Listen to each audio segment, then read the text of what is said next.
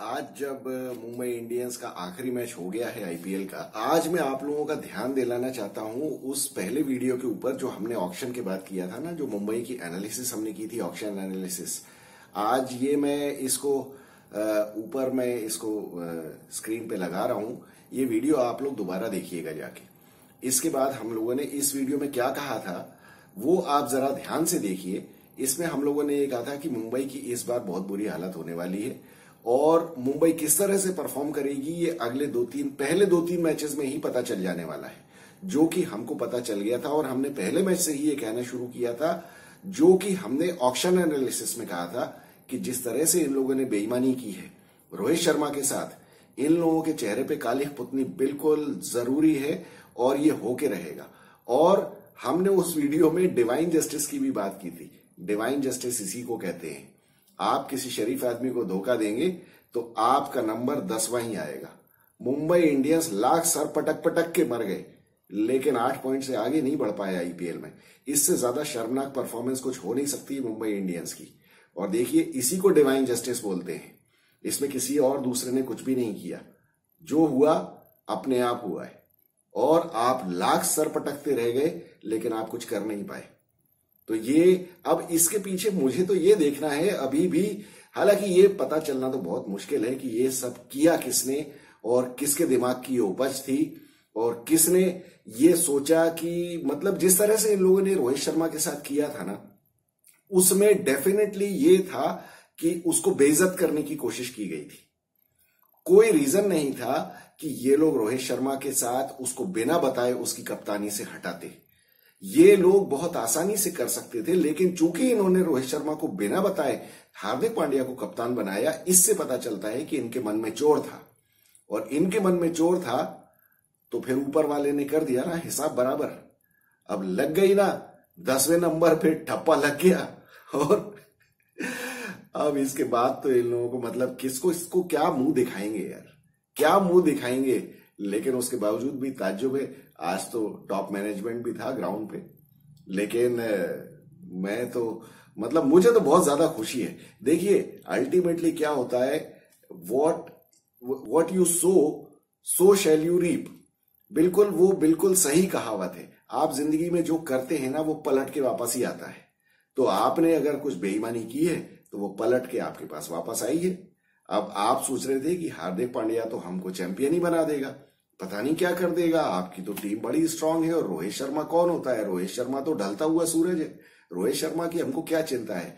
और रोहित शर्मा की हमको इज़्ज़त भी करने की क्या ज़रूरत है? उसकी तो बेजती करके निकाल दो। वो तो जा रहा है अभी साउथ अफ्रीका जा रहा है। मैच खेलने उसको रस्ते में टैक्सी में होगा। उसको बता दो कि भैया, तुम कप्तान नहीं हो अब।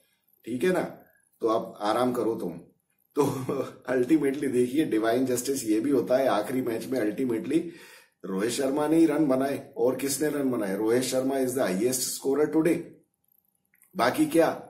इसके बाद मतलब अच्छी खासी टीम खिलाते हुए भी आज आप लोग 18 रन से या जितने भी रन से मैच हार गए, ये बहुत आसानी से आप मैच आज भी जीत सकते थे।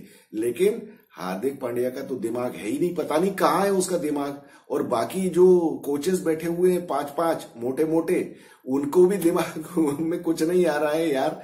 आप एक बात बताइए कि मतलब आप 214 रन का स्कोर चेस कर रहे थे, आप छह विकेट रहते हुए भी मैच हार गए। 18 रन से आप मैच हारे हो, और आपके छह विकेट गिरे थे। ऑल आउट हो गए होते तो मैं मान सकता था। क्या रीजन है कि छह विकेट गिरने के बाद भी आप लोग रन नहीं बना पाए? आपने ईशान किशन को क्यों भेजा भैया ऊपर? आज रोमानी, रोमारियो शेपर्ड का आप अचार डाल रहे थे पीछे। जो दिल्ली के अगेंस्ट उसने आपको 10 बॉल में 39 रन ठोक के आपको मैच जिताया था, आज आप उसको भूल ही गए। मतलब क्या है यार ये? तो दिमाग भी घर पे छोड़ आए हो या फिर दिमाग के ऊपर बिल्कुल धूल जम गई है या क्या हो रहा है? ये सब देखिए, ये it all boils down to divine justice आप बेईमानी करोगे तो आपके साथ यही होगा। आप कहीं मुँह दिखाने के लायक नहीं रहोगे और आप के साथ ऐसा होना ही चाहिए। अगर ऐसा नहीं होगा तो दुनिया में ईमानदारी से विश्वास ही उठ जाएगा लोगों का। ये आप लोगों ने जो किया है ना तो आप इसका जवाब किसी को किसी को देने की ज़रूरत नहीं है।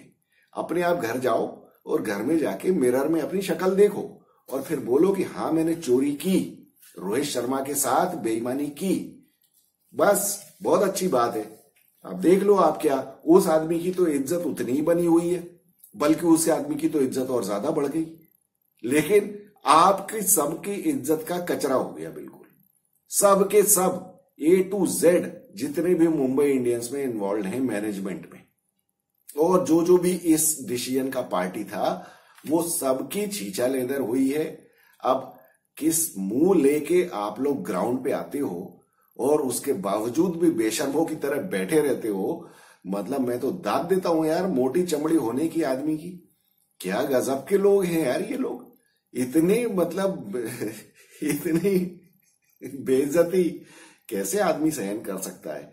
और जबकि आप इसको बहुत आसानी से अवॉइड कर सकते थे।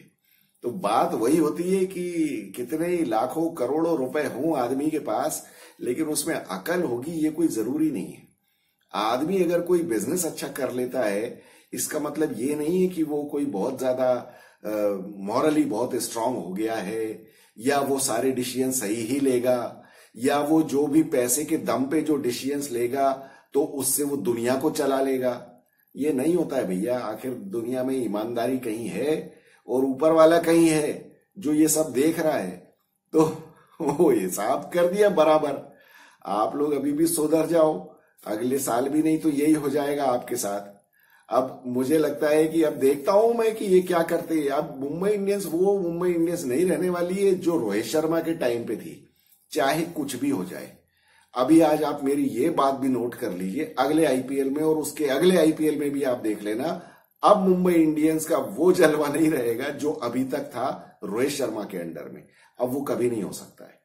आप कितने ही आप बड़े बड़े कोच ले आओ, सचिन तेंदुलकर को वहाँ डग आउट में नहीं, वहीं वहीं बिठा दो आप उसको। कुछ नहीं होने जाने वाला है भैया, जब आपके सलाहकार ही बिल्कुल डरपोक टाइप के हैं और जो सही सलाह आपको नहीं देते हैं तो आपका कुछ नहीं हो सकता है। और इस तरीके की सलाह आप पता नहीं है ओनर्स इसमें इन्वॉल्व है या नहीं है, ये तो मैं कई बार कह चुका हूँ कि मुझे तो भरोसा ही नहीं होता है कि ओनर्स को ये सब कुछ मालूम था और ओनर्स ने ये सब किया है। अगर किया है तो बहुत गलत किया है तो वो अब आप देख रहे हो नतीजा क्या है। अब इसमें तो मैं क्या कह सकता हूँ? मतलब ये तो हम ऑक्शन के बाद की एनालिसिस से कहते चले आ रहे हैं कि आपको इसकी मुँह की खानी पड़ेगी। यार, हमारे जैसे लोग आपको बता रहे थे, आपको समझ में नहीं आया, आपको और किसी ने नहीं कही ये बात? किसी ने भी नहीं कही। आप क्या सोचते हो यार, आपके वो जो वहाँ प्रॉब्लम ये भी है असल में कि ये जो टेस्ट क्रिकेटर्स और ये कंसल्टेंट्स और ये सब जो इनको हायर कर लेते हैं ना ये लोग तो ये तो क्या है, अब इनके बंधुआ मजदूर टाइप के हो जाते हैं। तो अब ये क्या बोल सकते हैं? ये तो हा में हा ही मिलाएँगे ना। तो हा में हा मिलाने वाले तो चमचे से ज़्यादा कुछ हो नहीं सकते, वो कंसल्टेंट नहीं हो सकते।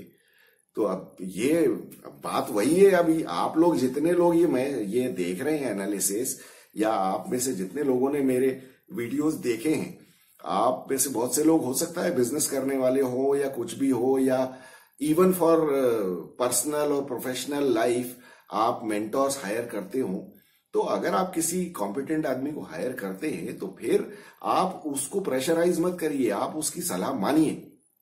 और आप उससे बोलिए कि भाई, क्या सही है मेरे लिए, आप वो बताइए। ये नहीं कि जो आप चाहते हैं, वो उससे कहलवाए। वो फिर को उसका कोई फ़ायदा नहीं है।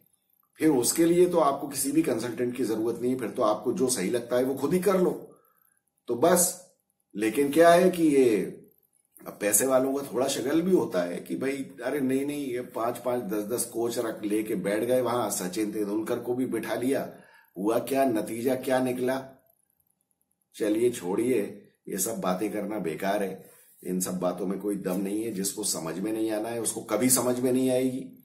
और जिनको समझ में आती है, उनकी बातें सुनता कोई नहीं तो ये तो अब आप लोग गवाएँ इस बात के, आप चाहें तो हमारे सारे वीडियोस उठा के देख लें, हम सारे वीडियोस में ये बात करते चले आ रहे थे और ये तो आईपीएल शुरू होने के पहले से हम कह रहे हैं कि इनकी शीशा लेदर होनी है। और शीशा लेदर हुई और ऐसी हुई कि दसवें नंबर पे आ गए सीधे। मतलब अगर पांचवा, छठवा भी आता तो भी एक थोड़ा सा फेस सेविंग तो कुछ हो जाती कि चलो, नई टीम थी या नया कप्तान था। हालाँकि नया क्या कप्तान यार? पुराना पापी है वो, मुंबई इंडियंस का। उसको पकड़ के लेके आए आप। और आपने ये सब किया, सब भरता बना के रख दिया पूरी टीम का, हो गया सब कबाड़ा। चलो अब देखते हैं अगले साल आप कैसे सुधारते हो इसको। अब सुधरने वाला है नहीं आखिर। मुझे तो यही लगता है ये सुधरेगा नहीं। चलिए खैर आप मैच की बात करते हैं। मैच क्या? लखनऊ ने लखनऊ टॉस हार गई बेचारी। और मुंबई ने तो हार्दिक पांड्या टॉस हमेशा जीत जाता है। वो एक हमारे व्यूअर थे, वो कह रहे थे, ये नालायक हमेशा टॉस जीत जाता है और फील्डिंग ले लेता है पहले। उसके बावजूद दसवें नंबर पे आया है, बताइए आप। ये एक और चमत्कार है अपने आप में। इससे ज़्यादा फेवरेबल क्या हो सकता है यार? सारे टॉस जीत गए, आप सब में आपने पहले फील्डिंग कर ली, उसके बावजूद आप मैच हार गए। फिर, जब इन लोगों ने शुरू किया तो लखनऊ की तो हालत शुरू में तो थोड़ी खराब ही हो गई थी। मतलब दस ओवर में इनके सिक्सटी नाइन फॉर थ्री थे, जब हुडा आउट हुआ है। वो मतलब दस ओवर में सिक्सटी नाइन फॉर थ्री शुरू में तो ये के राहुल तो अपना वही पुरानी स्टाइल में ही चालू हुआ इसके तो बल्ले में ही बॉल नहीं आ रही थी। एक तो शक्ल पे तो मैं हमेशा ही बोलता हूँ कि इसके बारह बजा रहता है। पता नहीं, डर के मारे खेलता है, क्या करता है ये।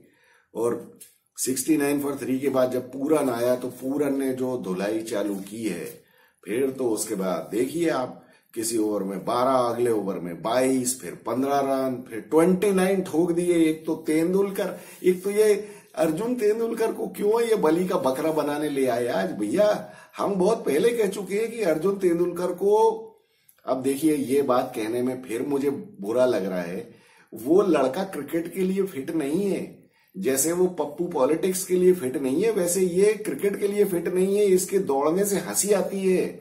जब ये रनअप पे दौड़ता है तो मुझे तो बहुत हँसी आती है, इससे अच्छा तो लड़कियाँ दौड़ देती है रनअप में, यार बॉलिंग करते टाइम। क्या यार, सचिन तेंदुलकर तुमको समझ में नहीं आया ये? ये उसका रनअप ही सुधरवा देते यार, कम से कम हँसी तो नहीं आती। अब उसके बाद आप बताइए। अच्छा स्मार्टनेस भी सिखा रखी है उसको। जहाँ जहाँ उसको पंद्रहवें ओवर में जहाँ पहली दो बॉलों पे दो छक्के मारे निकलस पूरन ने तो उसके बाद ये स्मार्टनेस भी उसको मालूम है कि फिर बहाना कर लो कि मेरी तो टांग मुड़ गई है, कि क्रैम्प आ गया है, और बाहर जाके चुपचाप सुकून से बैठ जाओ, क्योंकि मालूम है कि अगर पूरी छह बॉलें फेंकी तो छह में से चार या छह छक्के पड़ जाएँगे इस ओवर में। ये स्मार्टनेस ज़रूर है। ये तो मानना पड़ेगा मुझे। गजब की स्मार्टनेस सिखाई है भैया।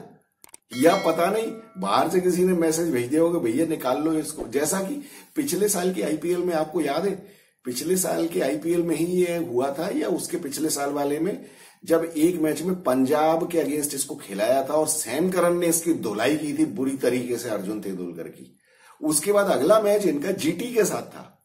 तो जीटी में तो अब आपको तो पता है, शुभमन गिल और इधर अर्जुन तेंदुलकर, अब आपको पता है वो इक्वेशन क्या है। तो उसमें इसको जीटी के अगेंस्ट खिलाए नहीं, टीम से निकाल दिया। क्योंकि शुभमन गिल तो बहुत भयानक फॉर्म में था। उसने तो 800 रन ठोके थे पिछले साल। तो इनको डर था कि अगर कहीं जो अर्जुन तेंदुलकर को खिला दिया, शुभमन गिल के सामने तो अब वो बहुत सांप छछूंदर जैसी हालत हो जाएगी। शुभमन गिल कैसे पीटेगा इसको? और ये कैसे बॉल करेगा? इस चक्कर में ये स्मार्टनेस बहुत इनको समझ में आती है। और ये क्या है? हमको नहीं समझ में आती है क्या? ये दुनिया को बेवकूफ़ समझते हैं ये लोग। ये ऐसा नहीं है भैया यार, हम लोगों ने भी बाल धूप में थोड़ी सफ़ेद किए हैं यार। हमने टेस्ट क्रिकेट नहीं खेला है, लेकिन हमको क्रिकेट बहुत समझ में आती है कि कौन क्या कर रहा है और उसका क्या मतलब है। हार्दिक पांड्या किस तरह से ग्राउंड पे चलता है, उसका क्या मतलब है, उसके बॉडी लैंग्वेज का क्या मतलब है, और जब वो इंटरव्यू देता है तो उसके किस वर्ड का क्या मतलब होता है, ये हमको बहुत अच्छी तरह समझ में आता है। ये लेकिन समझने वाले अगर समझ के भी ना समझे तो कोई कुछ नहीं कर सकता। ये तो अब आपने देख ही लिया है कि इस बार स्मार्टनेस इन्होंने दिखाई तो उसका क्या नतीजा निकला? और ये देखते हैं अगले साल ये स्मार्टनेस अपनी सुधारते हैं कि नहीं? तो ये उनतीस रन पड़े, बेचारे उसके चक्कर में क्या हुआ कि वो नमन धीर और पिट गया। नमन धीर को बाकी चार बॉले फेंकनी पड़ी, उसको भी पीट दिया निकलस पूरन ने। तो ये कुल मिला के हो गया इनका कबाड़ा और फिर फाइनली तो उन लोगों ने 20 ओवर में 214 रन मतलब सोचिए आप कि जहाँ 10 ओवर में 69 फॉर थ्री स्कोर था इनका, उसके बाद इन्होंने बाकी 10 ओवर में 145 रन ठोके इन लोगों ने। गजब ही कर दिया। और 214 का स्कोर पानखेड़े के मैदान पे कोई इतना बहुत ज़्यादा नहीं था। इन लोगों को बनाना चाहिए था, लेकिन मुंबई इंडियंस कहाँ बना पाएगी यार? 214 क्या? ये तो अगर 144 भी बनाते तो भी मुंबई इंडियंस नहीं बना पाती। कुछ ना कुछ तरीका निकाल के ये लोग मैच हार ही जाते। ये ऐसा ही होता है इनका। अब वहाँ जब शुरू हुए ये लोग हाँ आज तो रोहित शर्मा ने बहुत अच्छी बैटिंग की और हमको तो बहुत खुशी है कि रोहित शर्मा ने अच्छी बैटिंग की। भैया, वर्ल्ड कप के लिए तो ज़रूरी है ना रोहित शर्मा। हम तो पहले से कह के बैठे हैं कि रोहित शर्मा फोड़ेगा वर्ल्ड कप में। अब फोड़ेगा तो भैया लास्ट मैच में तो अच्छा रन बनाना ज़रूरी था ना। बहुत अच्छा हुआ, उसके बल्ले में बहुत बढ़िया आ रही थी बॉल दस ओवर में नाइनटी टू फॉर टू बहुत ही बढ़िया स्कोर था इनका। जब स्काई आउट हुआ है स्काई आज ज़ीरो पे आउट हो गया। स्काई अपना फेवरेट शॉट मारा स्वीप हाथ में दे दिया रवि बिश्नोई के। बस फिर उसके बाद क्या था? इनका हो गया सब कबाड़ा फिर तो रेगुलर इंटरवल्स पे इनके विकेट गिरते रहे। 98 पे रोहित आउट हो गया। रोहित आउट हुआ, उसके बाद मोहसिन खान ने इसको हार्दिक को आउट कर दिया 119 में। हार्दिक ने एक छक्का मारा था, लेकिन अब यही है, जलालत किस्मत में लिखी हो तो कोई क्या कर सकता है? हो गया आउट हो गया कबाड़ा। कुछ तो भी, एक तो बैटिंग ऑर्डर गलत खिलाया। ईशान किशन को क्यों खिलाया होगा यार? ईशान किशन अलग, वो नालायक आदमी। वो तो उसकी तो बदकिस्मती तभी से लगी हुई जब से साउथ अफ्रीका का टूर छोड़ के आया ये। ये आया था इसी के चक्कर में, छपरी, हार्दिक पांड्या के चक्कर में, कि अरे, ये तो मुंबई इंडियंस का कैप्टन है, इंडियन टीम का वाइस कैप्टन है तो मेरी तो निकल पड़ेगी अब, ये तो मेरा कर देगा कुछ ना कुछ। दोनों बर्बाद हो गए। अभी तो आप देख रहे हैं हार्दिक पांड्या, अभी हार्दिक पांड्या की तो बात बाद में करेंगे ये, लेकिन ईशान किशन अब कहीं का नहीं रहा। बिल्कुल ईशान किशन और श्रेयस अय्यर। इनकी दो कौड़ी की औकात नहीं रह गई है।